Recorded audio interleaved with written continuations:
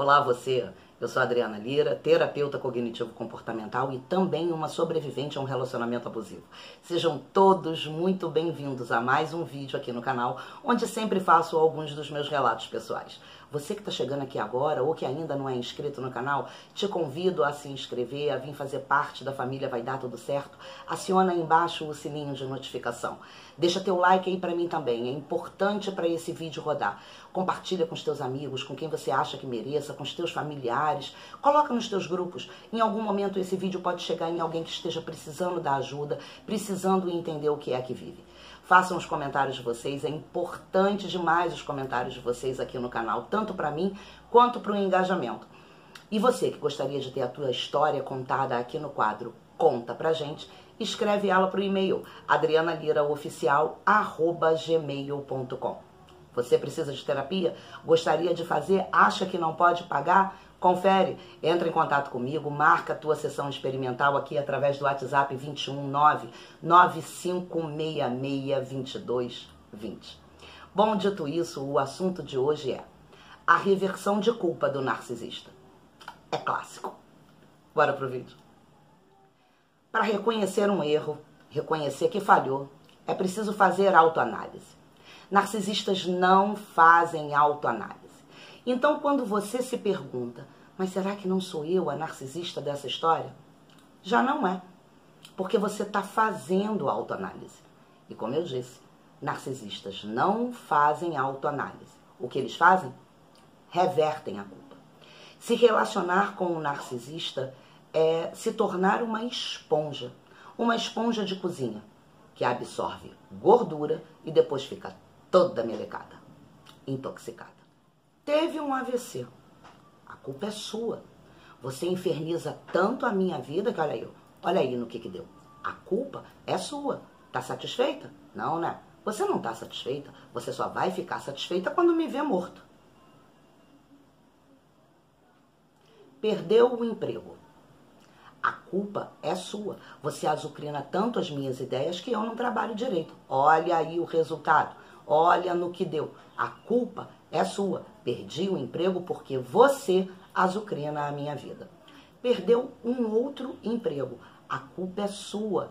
Sabe por que, que a culpa é sua? Por causa das suas postagens nas redes sociais. As pessoas olham para aquilo e falam: é uma louca, é uma doida. Perdi o emprego por conta das suas postagens. Nessa ocasião, era uma situação em que já estávamos em processo de divórcio e nenhum nenhuma das pessoas envolvidas lá no trabalho dele eram meus amigos. E a minha rede social sempre foi fechada. Compreendem como revertem a culpa para tudo? O próprio filho não o suporta, mas a culpa é minha. Sou eu quem manipulo ele desde criança. Sou eu quem coloco ainda, até hoje, com quase 30 anos, na cabeça dele que ele não deve gostar, que ele não deve se relacionar. Eu vou deixar aqui em cima o card do vídeo onde meu filho faz o próprio relato pessoal dele e aí vocês mesmos é, tirem as conclusões de vocês. Eu já cheguei a contar em um dos vídeos aqui no canal que eu me tornei amante do meu próprio marido, casada legalmente e também vivendo maritalmente com ele, só que às escondidas, porque a gente já não tinha mais cara, e né, na verdade era eu, né? Quem não tinha mais cara é, de assumir diante da sociedade que eu havia voltado mais uma vez para aquele ser, né? Diante de tantas traições, tantas infidelidades, conforme eu fui perdendo a minha identidade, passando, passando por cima do que eu acreditava ser correto e aceitando ele de volta, apesar das agressões, das infidelidades. Então, em uma dessas ocasiões, ele ficou morando na casa da mãe e meu filho também disse: se ele voltar para dentro dessa casa, eu saio pela outra porta. Então ficou complicado, né? Mas a casa da mãe é tão longe da minha, tão longe da minha, tão longe da minha, que a casa dela é quase dentro do meu quintal. E não tem outro caminho para ir para a casa dessa mãe, não há outro caminho. É preciso passar pela porta da minha casa. Então o que, que ele fazia? De 15 em 15 dias, ele pegava minha filha e levava para casa da mãe. E mantinha aí essa farsa, né, de que estávamos separados e que ele pegava a menina de 15 em 15 dias. É, acha que ele ficava lá com a menina? Não, ele dizia para a mãe: Eu vou na farmácia, vou resolver um problema, vou ali na padaria, vou lá fora. E ele não ia, ele vinha, era para minha casa. Aí passava o dia inteiro aqui enquanto a mãe cuidava, né? Bonito. É isso daí que a família valida. É claro que eu sabia o contexto dessa história, mas a mãe não. Tenho certeza que a mãe em momento nenhum dizia para ele assim: Olha, você só vê a menina de 15 em 15 dias, já que ela acreditava nisso, né? Então, é importante que quando você trouxer ela para cá, você fique aqui com ela, que você cuide dela, que você faça parte da vida dela, que você brinque com ela, que você dê banho, que você dê comida. Não, essa mãe simplesmente pegava e assumia essa responsabilidade. Sistema patriarcal. Bom, enfim, é, nessa situação, nesse contexto todo, ele toda vez que chegava do trabalho, antes de ir para a casa da mãe, ele passava na minha casa. E aí batia papo, conversava, contava como tinha sido o dia e reclamava muito dessa mãe. Eu não aguento mais, eu não tenho o meu canto, eu não tenho liberdade, ela mexe nas minhas coisas, ela tira as minhas coisas do lugar. É, eu não consigo nem mesmo colocar o pé dentro de casa todos os dias que eu chego, porque ela tem alguns problemas de saúde, né? E estava uh, sempre passando mal. Então ele reclamava disso. Eu mal coloco o pé na cozinha, vem ela passando mal, exatamente assim. Ai, ai, ai, que bom que você chegou. Vem, vem, afere, afere minha pressão. Ele reclamava muito disso. E a gente vai acolhendo, né, tadinho, se vitimizando. Que dó. A gente acolhe isso. Quem é empata acaba acolhendo isso. É porque eu não tenho o meu canto, mas eu não consigo pagar um aluguel, aluguel é caro, sabe? Eu não sinto como se fosse a minha casa e eu sinto que eu não tenho liberdade. Até que ele deu o golpe final no meu coração, quando um dia eu pedi para ele é, pegar a menina, eu tinha um trabalho para executar, e aí ele concordou, ele pegou a minha filha e levou para casa da mãe. Era fora daqueles 15 em 15 dias, sabe? E aí no dia seguinte ele disse para mim, tá vendo como é que são as coisas? Como é que eu digo para você que eu não, não sinto como se fosse a minha casa? Eu levei ela para lá e ela perguntou, ué, tá chegando hoje aí, mas quando for assim tem que avisar, né? Tem que falar. Sabe, Adriana, é minha filha, não é uma estranha. Eu não sinto como se eu tivesse essa liberdade de poder levar a minha própria filha para dentro da minha casa. Ou seja, não é a minha casa. Eu preciso de um canto. Isso foi um golpe, sim, em mim, porque essa filha dele é a minha filha. E aí eu falei: eu vou procurar alguma coisa para você, para que você tenha um canto, para que você tenha autonomia. Nós vamos encontrar. Claro, eu me colocando mais uma vez à frente, né, tomando a frente da situação. Sempre foi assim, nunca foi diferente. Ele sempre esteve por trás, manipulando para que eu fizesse.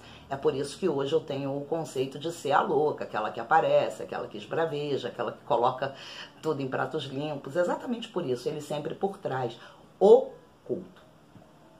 E aí uma amiga tinha uma casinha novinha, bonitinha, lindinha, dentro do, do quintal dela e ofereceu por uma ninharia. Uma casa que tinha fogão, geladeira, um duplex no quarto e ainda tinha um sofá na sala. Por uma ninharia. E aí eu ofereci para ele.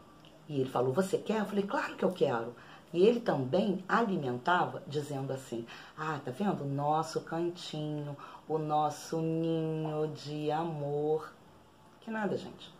Eu lavava, passava, cozinhava, arrumava, limpava, cortava grama, ainda dava para ele. Enquanto isso, ele estava tendo um caso com uma amiga minha. Sabe quanto tempo durou esse aluguel? Apenas dois meses. Nós compramos cama, nós compramos tudo do jeito que eu queria para a cozinha. E ele me perguntando: você está feliz? Você está satisfeita? E eu estava toda boba porque a gente estava tendo novamente é, um canto nosso, né? Para que a gente pudesse ter a nossa intimidade, que a gente pudesse sentar, conversar, sentar no colo, beijar. Era tudo uma grande ilusão. Bom, dois meses depois eu peguei ele com a com a minha amiga, como eu acabei falando, né? E aí, mediante essa confusão toda, ele resolveu, dois meses depois, sair de dentro da casa que ele tinha alugado de uma outra amiga minha. Ficou feio, inclusive, né? Porque ela também tinha feito os planos dela, contando com aquele aluguel. E eu fui cobrar isso a ele. Eu falei, mas como é que é isso? Só tem dois meses que você está na casa. Fez a gente comprar um monte de coisas. É, é, e ela também estava contando com esse dinheiro. Você não assinou o contrato porque foi tudo de boca? Você não vai honrar? E o que eu ouvi na reversão de culpa é: o problema é seu. Quem me arrumou esse embuste foi você. Ou seja, Não era ele quem ficava o tempo todo dizendo que precisava de um canto. Não foi ele quem alimentou a história de que nós íamos ter o nosso canto. Compreendem? E se esse vídeo fez sentido para você, se você também está aí como uma esponja absorvendo culpas que não são suas, abraçando causas que não te pertencem, eu te convido a vir fazer terapia, a ressignificar a sua vida, transformar a sua realidade, ter uma reprogramação mental, se fortalecer emocionalmente. Entre em contato comigo através do WhatsApp 219 9566 2220. Até o próximo vídeo. Beijo grande. Vai dar tudo certo.